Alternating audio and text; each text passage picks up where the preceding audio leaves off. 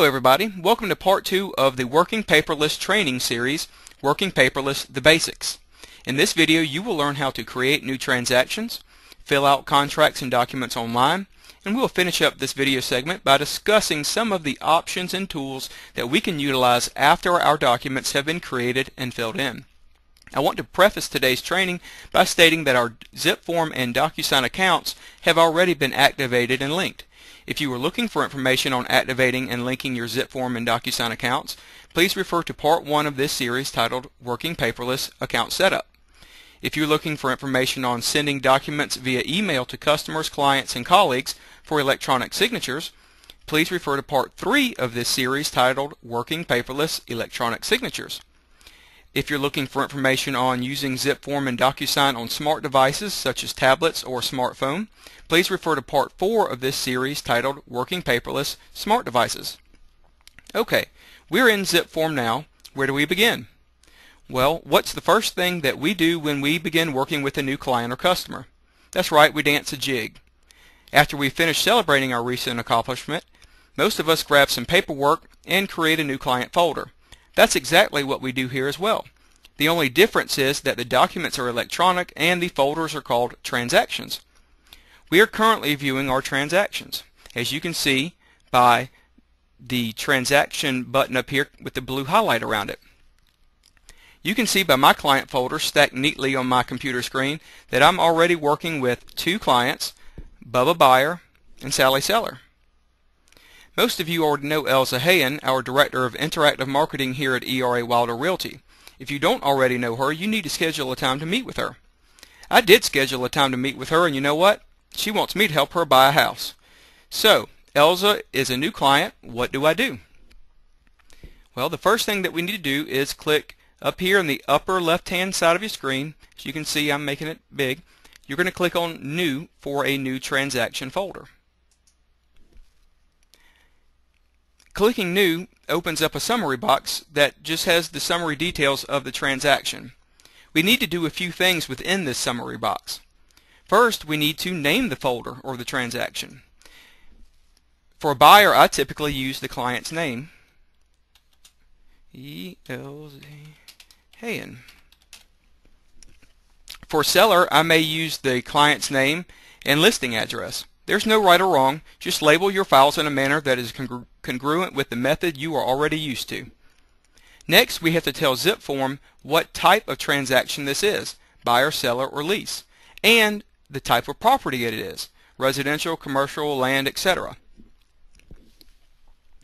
As you can see here, transaction type, Elza for today's demonstration is going to be a buyer, so we're going to click on purchase, and she's going to be buying residential property, which is already clicked. You can also add a photo to help further identify the transaction folder if you want to. It's not needed, but if you click on Add Photo, I just so happen to have a picture of Elza. It's on my desktop, so it browses your computer for where the, the picture is. I'm going to click Desktop, and then I'm going to scroll down to find the picture. Here's Elza's picture. Just click on the picture and click Open and it adds it to this summary detail box. See Elza right here? Isn't that flattering? Now I want to pull your attention to the middle of the box here. It says Apply Template. If you click on the down arrow next to Apply Template, it shows a list of packets that you can use. Please note that ERA Wilder Realty is located in different MLS areas. Each MLS area uses a few forms that are specific to that area, so make sure you choose the packet for your MLS. For demonstration purposes today, Els is buying in Columbia. I'm a Columbia agent, so I need to locate the buyer packet for Columbia. So I will go down to find Columbia Residential Buyer Packet. And I'm just going to click on it, and it fills it in here, and then I'm going to hit Save. Clicking Save brings us directly into our new client's file folder where we can then see all of the documents within this buyer packet. There are lots of documents within these templates, some of which you may not ever need. For example, dual agency agreement, designated agency agreement. you may never need them. Unfortunately, for all too many agents, the residential contract of sale is something that we may not need either. Hopefully I will be needing that for Elza. Now I want to draw your attention to the differences in the file types that you see. You see this blue ZFX file. These ZFX files can be filled out online. These are ZipForm files. You also see these red PDF files. PDF files cannot be filled out online using ZipForm. However, there is no need to edit these files as they only require signatures and initials which can be generated by DocuSign. Many of these documents you've seen before.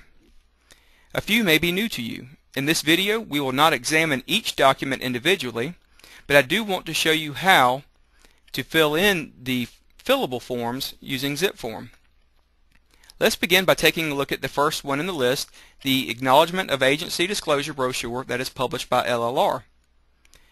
To view any of these documents in detail, all you have to do is click on it. Notice in this, as you probably already know, there are no spaces that need to be filled out on this brochure, but it's there for us anyhow. You may want to eventually add initials to this when it comes time for the, the client to sign the documents, but that will be done through uh, DocuSign in a later video. I'm going to click back to go back into our list of documents. Next, I want to click on the exclusive buyer agency agreement to show you how simple it is to fill in a contract. I'm going to go over it, I'm going to click on it, and it opens it up in its own page in detail. I want you to notice these tan colored fields here. These tan colored fields are areas in which you can enter information into this, this contract. We'll start by clicking on the top line, which is where you enter in the buyer's name, Elza Hayen. You can tab using your tab button through the different fields, or you can click onto the different fields to fill in those individual fields. The next line, it asks us to put the realty company that we work for.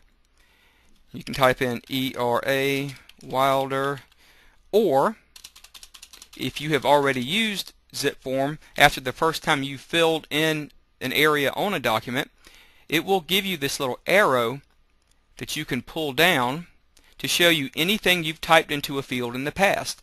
This becomes very nice whenever you are using um, these forms and you've typed in the same thing, Columbia or zip codes, or even this, ERA Wilder Realty Inc. in the past. You can just click on it and it will put it into the form. Um, for today's demonstration purposes, I'm not going to go through and fill out this entire document.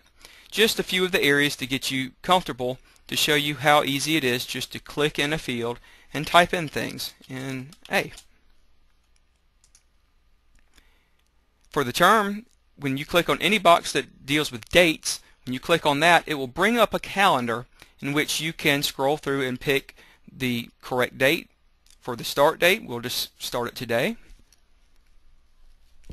For the end date, I've been talking with Elza and I've discovered that she's very picky so it probably is going to take me a year to find the perfect house for Elza. At least I hope I can find it within a year. So I'm going to just, I clicked it to 2015. I'll just click make it a one-year contract. Just fill in the rest of these fields as you would on any, as if you were handwriting the contract. Now I'm not going to do that, but I will show you, if you scroll all the way to the bottom, as you're filling in all these fields, you will eventually arrive at the bottom where you should put in any information that you have on your client such as address, phone number, but most importantly email. The reason why this is the most important is because if you do decide to use DocuSign for electronic signatures, it will it will pull the email address from this form so that you don't have to type it a couple times using DocuSign. So let's just put in buddy at era.com. Now I will encourage you to use your email address here when you're practicing so that you will receive the same email that your client would see in your email so that you can check your email and do the click through and, and practice seeing what your client's going to see so that if they have any problems you can walk them through it. Okay, this is completely filled out. Well, let me put my name down here. Probably will already have typed it in at some point. There we go. Buddy Rogerson. And we're done. I'm going to hit back to go back into the list of documents. But what if the template does not contain a form that you need, a specific form that you need? Well, if you look to the right side of your screen, you see this it says all forms and you can collapse it if it ever gets in your way and open it back up if you don't see it. This is your library of forms. In fact, it says select library. There, for th this purpose demonstration, there are three libraries. Your MLS area may have more or less libraries that you can choose from as far as forms.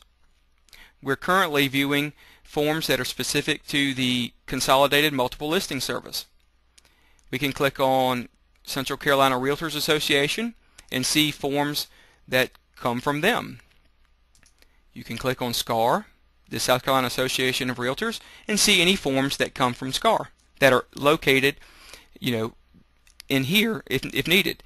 These dark blue ones are the ones that are already chosen and are located over here. You may say, well, buddy, I need an addendum. Well, you can click on addendum, and it adds the addendum page to your transaction. And there's lots of different forms in here that you can choose from. Now, if you don't if you can't find a form, if you say, buddy, I've looked in all the libraries and I cannot find the form I need, you may have to upload that specific form into this transaction folder. We can do that by clicking Add Document. Adding a document will browse your computer when you click Browse for the location of that form. That has to be saved on your computer and once you find it, I don't have one here to show you, but once you just click on it and you can hit open and it'll, it will add that document as it did the addendum in the earlier example. I'm just going to cancel out. Okay, I have completely filled out the buyer agency agreement for Elza. I'm going to click on it to verify. Okay, everything looks good. I'm going to go back. So my paperwork for her is ready to be signed. Now, let's look at what we can do with these filled out documents. We can click Print, which will simply bring up this window that you choose the specific forms that you need to print out at this time. You may, but we're not going to print because we're trying to save paper. So I'm going to hit cancel and we're going to look at some of the other features. We can save the certain uh, documents to our computer as a PDF file. If we click that,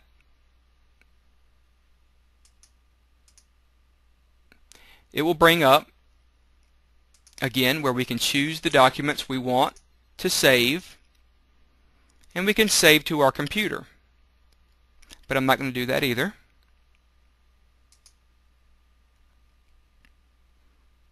we can also if you want to just email the documents to your client this um, this uh, button that looks like an envelope says send again you can click that choose the documents you want to email type in the email address and the subject line and a message if you want down here and you just send the email. This is not used for electronic signatures. This is just to email the forms that you filled out. I'm going to hit cancel because I'm not going to do that either. And lastly, I want to point out to you the e-sign button that looks kind of like an ink pen. If you click on e-sign, it will then send the forms that you choose to the client for the purpose of getting electronic signatures. This concludes part two of Working Paperless training series, Working Paperless the Basics. If you have any questions ever, you feel free to give me a call, 803-607-7788. Email me at buddy at era.com, or you can text me to my, my mobile number as well, and I will get to you as soon as I can. Thanks, guys. Y'all have a great day. Bye-bye.